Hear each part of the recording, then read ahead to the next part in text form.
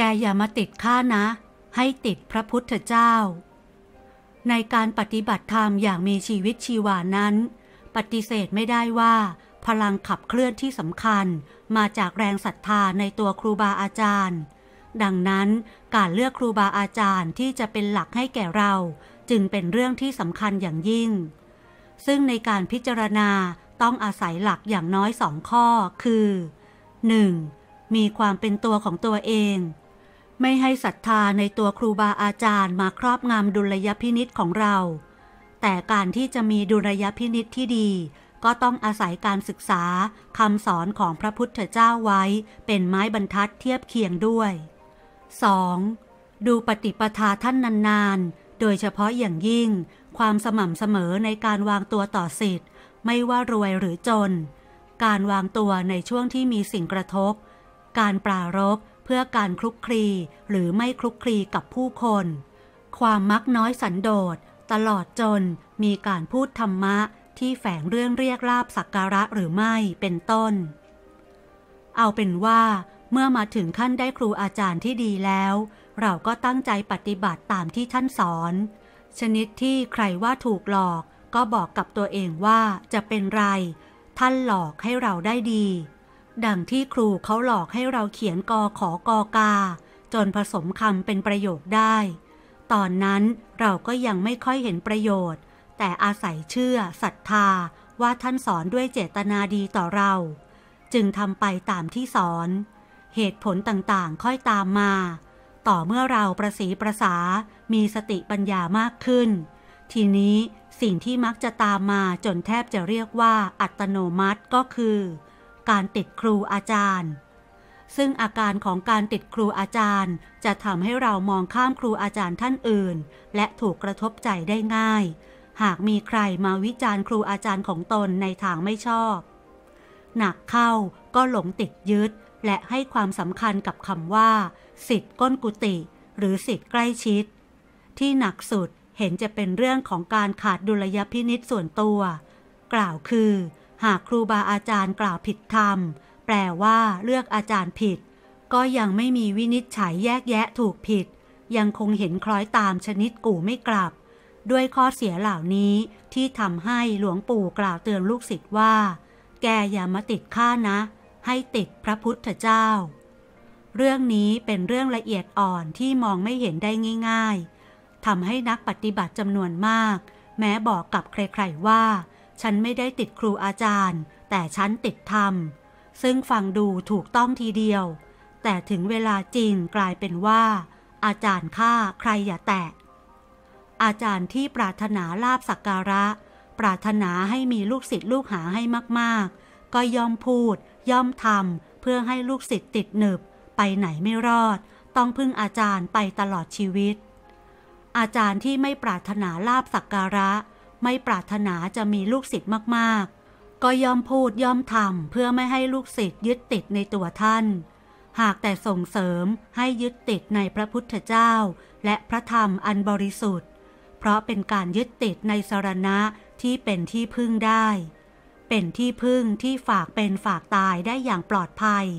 แล้วอาศัยสิ่งที่พึ่งของจริงของแท้ชนิดนี้ ก็จะทำให้ไปสู่จุดที่พ้นไปเสียจากการยึดติดทั้งมวล การปฏิบัติธรรมตามแบบฉบับของหลวงปู่ดูพรมปัญโย ไม่มีอะไรยาก เพราะทุกคนสามารถทำได้ ขอเพียงแค่สละเวลาวันละ3ถึง5นาที มาปฏิบัติธรรมเป็นประจำทุกวัน ซึ่งจะทำที่ไหนก็ได้ อยู่บ้านก็ทำได้ ขอเพียงมีใจที่เคารพศรัทธาในพระรัตนตรัยเท่านั้นก็เพียงพอแล้ว ก่อนจะเริ่มทำก็กราบพระเสียก่อน จะกราบที่หิ้งพระ หรือที่หัวเตียงก็ได้ หากหัวเตียงไม่มีพระก็ให้นึกถึงพระแล้วกราบลงไป คนเราหากนึกถึงพระอยู่ กราบลงไปเมื่อใดก็ถึงพระท่านเสมอ จากนั้นก็นั่งในอิริยาบถสบายๆ จะนั่งขัดสมาธิก็ได้ จะนั่งเหยียดขาก็ได้ แล้วก็ให้นึกท่องในใจว่า พุทธังสารนังคัดฉามิธรรมังสารนังคัดฉามิ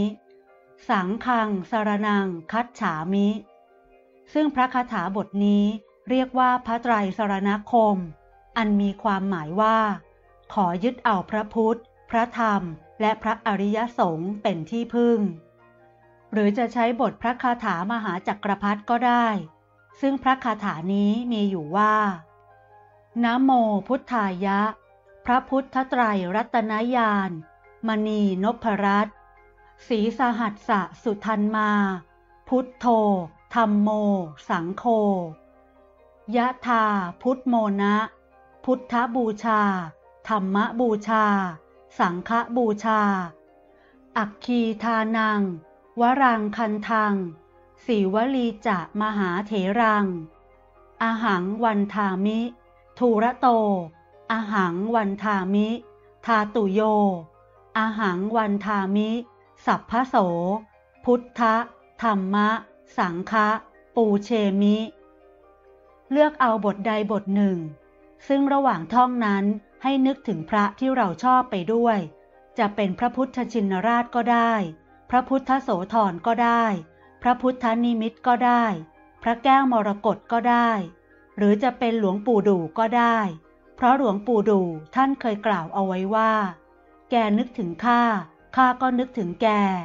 แกไม่นึกถึงข้า ข้าก็ยังนึกถึงแก ให้ท่องในใจไปเรื่อยๆ ท่องจบก็เริ่มใหม่ ท่องจบก็เริ่มใหม่ อย่างนี้ไปเรื่อยๆ ทำด้วยใจสบาย ไม่ต้องเพ่ง ไม่ต้องเกรง อย่างนี้เขาเรียกว่า ภาวนา หากจำภาพพระที่เราชอบไม่ได้ ก็ให้หารูปมานั่งดู ดูรูปไปด้วย ภาวนาไปด้วยทำอย่างนี้วันละ 3-5 นาทีทุกๆวัน ขอแนะนำให้ทำตอนตื่นนอน หรือไม่ก็ก่อนนอน เพราะเป็นช่วงเวลาที่ธาตุขันหรือร่างกายได้รับการพักผ่อน จิตจะพลอยสบายไปด้วย นี่แหละคือกรรมฐานสูตรหลวงปู่ดู หลวงตาม้าท่านเคยกล่าวได้ใจความว่า กรรมฐานสูตรหลวงพ่อดูเป็นกรรมฐานผู้ใหญ่ ครูคือพุทธะ ธรรมะ สังฆะ ครูคือหลวงพ่อดู อันที่จริงแล้วหากจะให้ครบเครื่องเรื่องการปฏิบัติตามแนวหลวงปู่ดู จะต้องมีพระเครื่องอย่างน้อยหนึ่งองค์ เอาไว้กรรมขณะภาวนา ซึ่งพลังงานพุทธคุณจากพระเครื่อง จะช่วยให้จิตเราสงบเป็นสมาธิ หรือเบาเย็นสบาย โดยขณะกรรมและภาวนานั้น ท่านให้นึกถึงองค์พระที่กรรมเอาไว้ด้วย ซึ่งถ้าหากว่าเป็นพระเครื่องที่สร้าง และอธิษฐานจิตด้วยวิชาของหลวงปู่ดู หลวงตาม้า จะสามารถดิ้นได้ เดินได้ เมื่อภาวนาไปจนใจสบายจะพบว่า พระที่กรรมเอาไว้มีอาการดิ้นอยู่ในมือเลยทีเดียว อีกทั้งเมื่อผู้ปฏิบัติธรรม ปฏิบัติไปจนถึงขั้นจิตละเอียดเบาสบาย ก็จะสามารถพูดคุยกับองค์พระที่เรานึกถึง หรือพระที่อยู่ในมือได้ ซึ่งองค์พระท่านสามารถตอบปัญหาในสิ่งที่เราสงสัยคาใจอยู่ได้เช่นกัน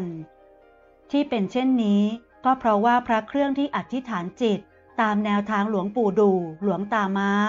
สามารถพูดได้ทุกองค์ ซึ่งตรงนี้หลวงตาม้าท่านเคยกล่าวเอาไว้ว่า